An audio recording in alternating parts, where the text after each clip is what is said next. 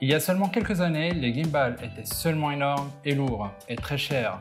Et tout cela est terminé. Je vous présente Feutech G6 Max. Salut et bienvenue sur ma chaîne GeekTech.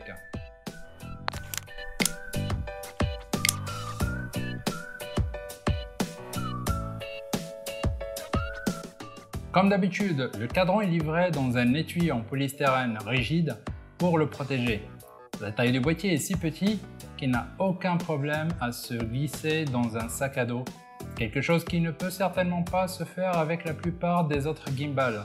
Petite remarque, il faut à chaque fois rééquilibrer quand vous retirez en dehors de l'étui. On trouve sinon un petit trépied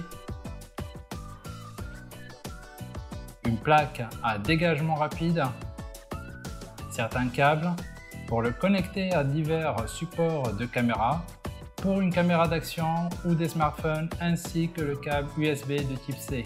Parce que le cadran utilise USB type C pour se recharger, ce qui est génial car cela signifie que vous pouvez le brancher sur la batterie que vous utiliserez également pour recharger votre téléphone lorsqu'il est vide en raison de la taille. La durée de vie de la batterie est naturellement un peu plus courte contrairement à d'autres gimbals. Les 8 heures qu'il vous donne devraient toujours être bien. La recharge prend également quelques heures, mais comme je l'ai dit, en raison de la charge USB-C, ce n'est pas si grave. Le G6 Max lui-même est principalement fabriqué en métal avec seulement la poignée en plastique. En son dans l'ensemble, la très haute qualité, mais également pour le petit trépied, même s'il est également en plastique.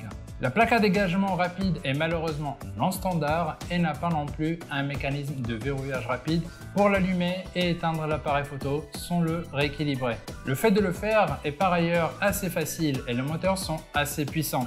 Assez pour que vous ne devrez pas avoir de problème avec les mécanismes et de dévisser les gros boutons qui vous permettent de manœuvrer très précisément et fonctionne bien tandis que les bras ont également des verrous morts pour les maintenir en place lors du stockage du G6 Max.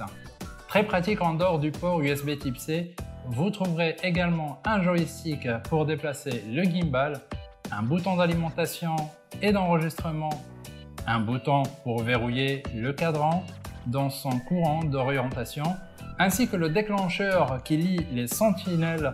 Le G6 Max avec un bouton d'appui permet de passer en mode selfie avec le triple anglais et le maintenant enfoncé mais normalement en mode de suivi rapide.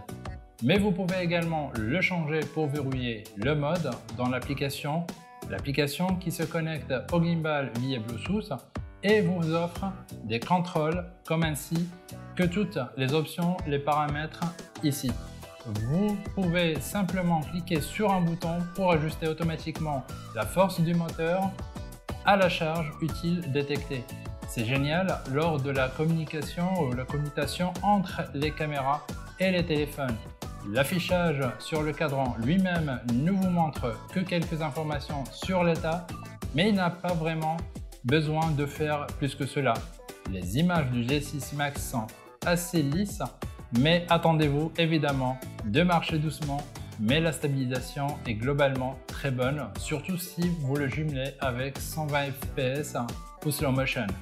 Et je peux encore souligner à quel point il est génial et sans qu'il reste incroyablement compact et super léger à moins de 700 grammes, même avec un appareil photo Nikon D5200, le tout pèse moins de 1,5 kg et qui le rend également assez léger pour être adapté pour l'utilisation avec le téléphone, avec le support de téléphone en métal inclus, sans le sentir trop grand. Certaines personnes vont se demander si c'est un bon gimbal, parce que à première vue, on ne dirait pas qu'il va pouvoir supporter un appareil photo approprié, mais il le fait jusqu'à 1 kg de son, bien sûr.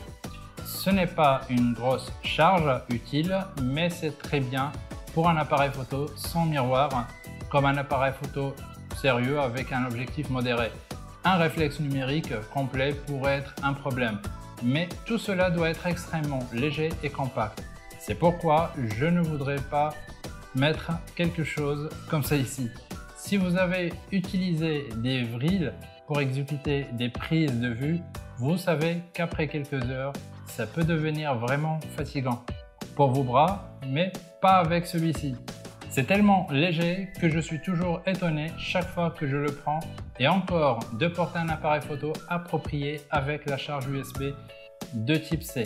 La construction de haute qualité et les fonctionnalités intelligentes comme l'ajustement du moteur automatique et vous avez essentiellement le cadran parfait pour les consommateurs haut de gamme ou le travail modérément professionnel. C'est essentiellement le bon gimbal polyvalent sans effort, mais toujours capable si vous avez un appareil photo. Donc pour ceux qui sont à la recherche d'un cadran, cela obtient ma recommandation.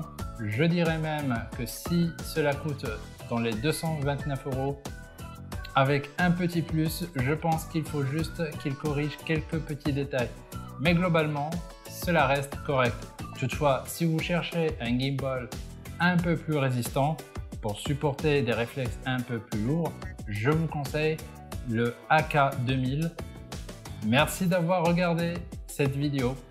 Aucune compensation a été fournie pour cette vidéo. Si vous avez aimé cette vidéo, vous savez sur quel bouton appuyer et n'oubliez pas de me suivre sur les autres réseaux sociaux. On pourrait même échanger.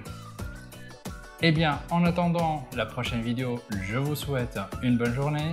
Portez-vous bien Ciao